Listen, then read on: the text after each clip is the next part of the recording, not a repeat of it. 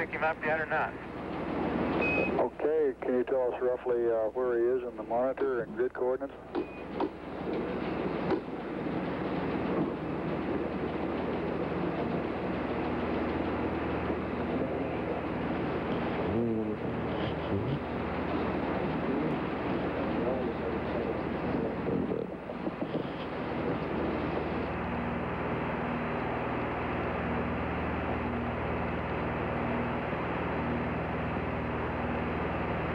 He's right on the top of uh, B and C on the line in between them, it looks like, Bruce. Roger, is that uh, B2 and 3? Well, let me see. I can't see that far over to the monitor. Let me take another look. No, don't worry I'll look out the window here first.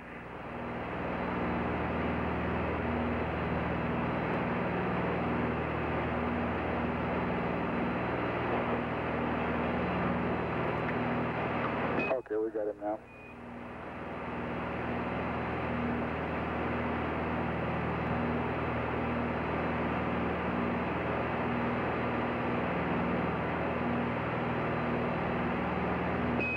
Roger, Stu, we've got him uh, at the left-hand edge of our picture, about uh, one-third of the way down from the top, growing bigger every second.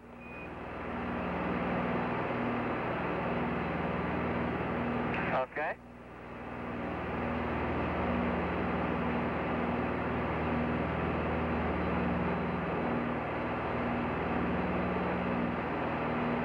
Raj.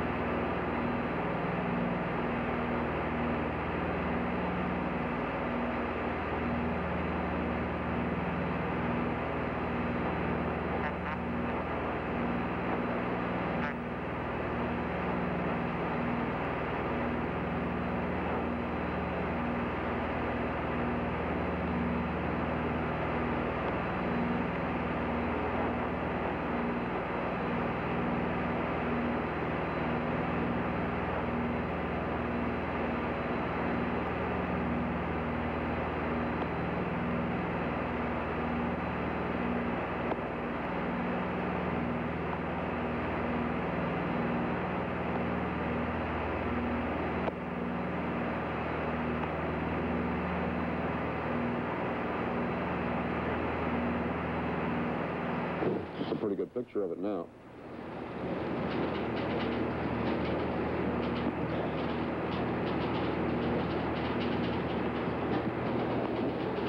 There he's standing centered up. That range uh, at this point uh, should be about uh, a quarter of a mile, 1,370 feet or so. Looks about fine, right. Bertie. Mm.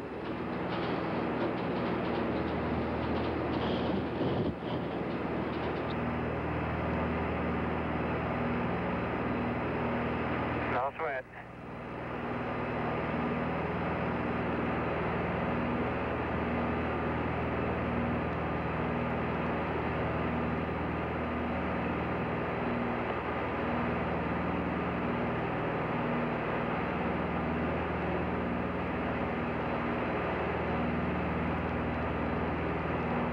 Believe I'll just uh, have a few pictures of you here.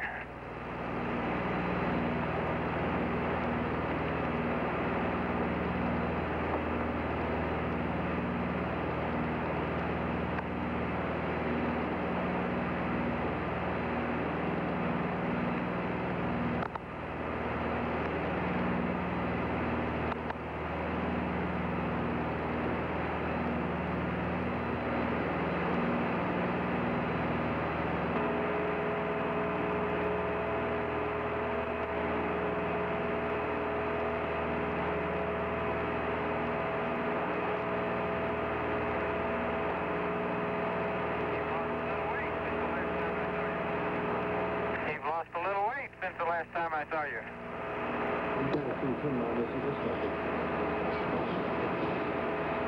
Well, they're getting in pretty close now. It's looking great.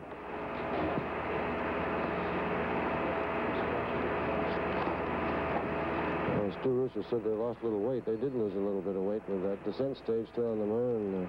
Uh, the The range at this point is less than a tenth of a mile. The vehicles are closing at about four feet per second. Uh, the poor quality of the television picture is due to a weak signal strength. The communications engineer here in the control center is uh, looking into it to see what can be done, uh, perhaps on the ground, to improve the signal strength. Okay. Not a bad picture, though. No, let's figure out where that's coming from. Yeah.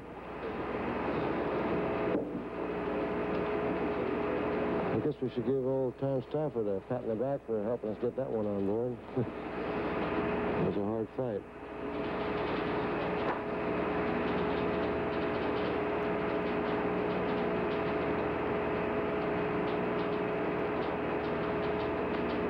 Great detail.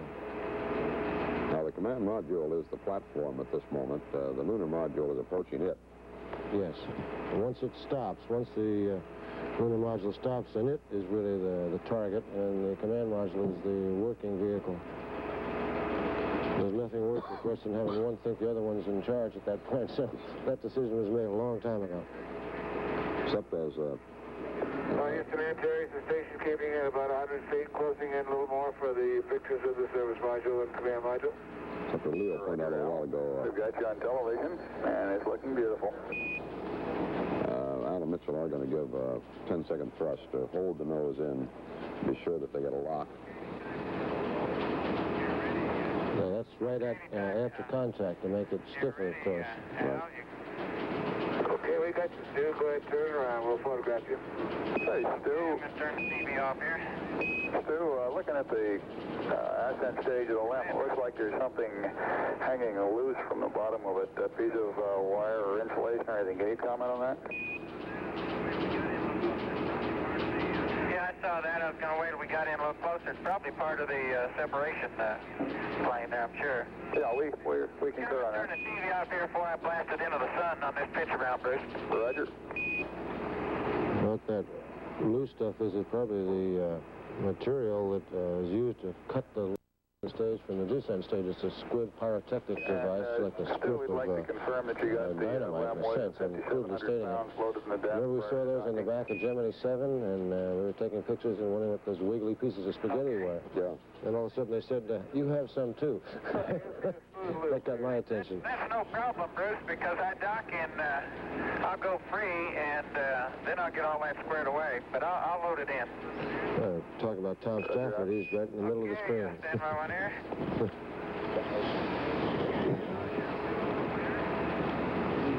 Okay, I shall do a loop later. Okay, make it smooth. And around we go. Show us a little style.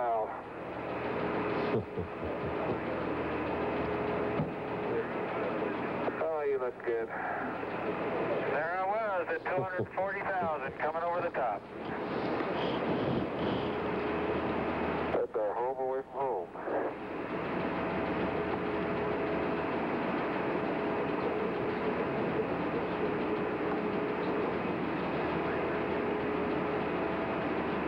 Would you believe 360,000? Yeah.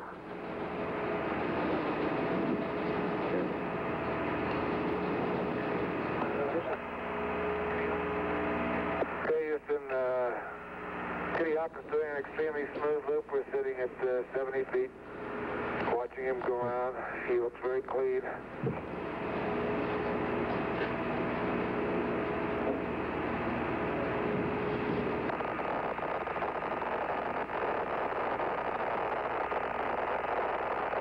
Engine bell looks very clean. All the uh, street patterns, the radio is uniform. No hot spots at all.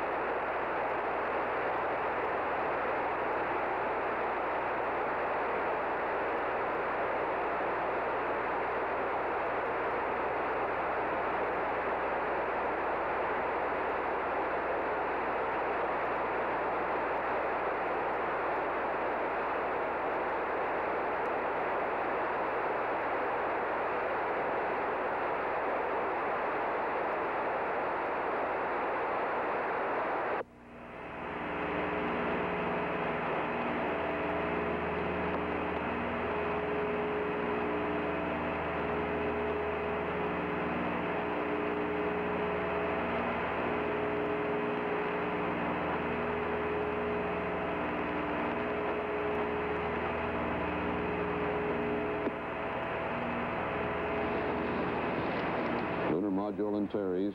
We would expect to uh, get a in on the television picture back once uh, Stu Roosa has completed maneuvering uh, in the command module to the proper attitude for docking. briefly, and uh, they don't want to burn out another television camera.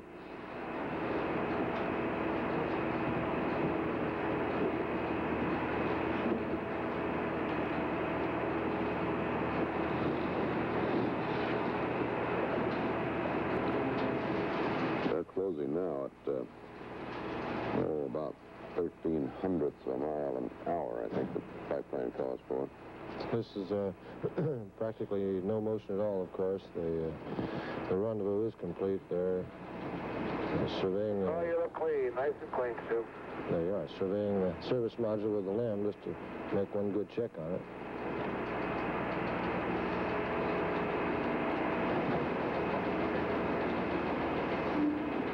I'll come in a little closer to save you some gas.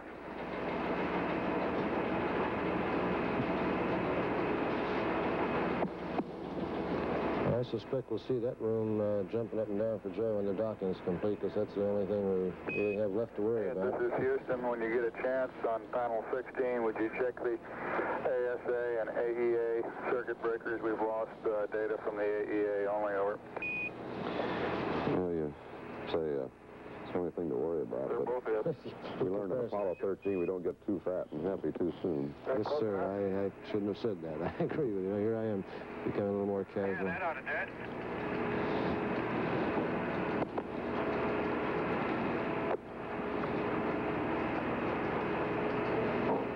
Well, we've just been into our sixth day. Hmm? Yes, sir, it's just been six days since the uh, five days. We're going into the sixth day uh, launch. since no, this is the sixth day since the launch uh, Sunday afternoon from Cape Kennedy at this hour, three, three. Okay, I've, I've got the station keeping. It wasn't though, actually. Of course, it's 40 minutes later, but they've updated the clocks. Houston, what that is trailing is a little bit of that uh, foil on the bo- bottom part of that uh, tank area there. Thank you, Stu. Looks like during separation, the foil, uh, that insulation got, got ripped. The other side is down tight, and uh, the side you're looking at there is, uh, is uh, ripped out pretty badly. All right, you thank you, Stu, and uh, we got another good TV picture. That's this thermal uh, blanket of uh, sort of a mylar, very light uh, material that they wrap the spacecraft in. It looks like a Christmas bauble. And then they Very well through said. the lunar module. Well, this could have been a problem on uh, the beginning of the mission. Of course, this probably occurred during the liftoff from the surface of the moon. Now, the crew would have seen it as well. Yeah, on the moon. There's the picture again. It's not quite as clear as the other one. Got a bad sun bounce now, haven't we? That's what that is. Uh, that round circle in the center, I think, is the uh, docking probe. I'm not going to guess, but it looks like it. Yeah, it does. That's the drogue into which the probe on the command module must fit. We learned a lot about that bit of equipment in the I was following the Sunday night's difficulty in getting those latches to work. There are three little latches on the probe that uh, click into place for a soft dock, it's called, uh, inside the drogue. Then uh, a device uh, using those three latches Okay. pulls them in tight together, and 12 other latches actually make the hard dock. It was that probe into the drogue that they- they couldn't get the hook on last time until the sixth try. Rather interesting thought here on Earth. We avoid trying to get vehicles to get together. request low bit rate aft Omni over. You want low bit rate aft Omni?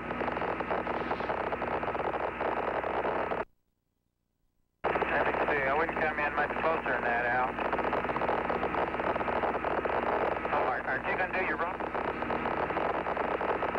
Okay. Yeah. Okay,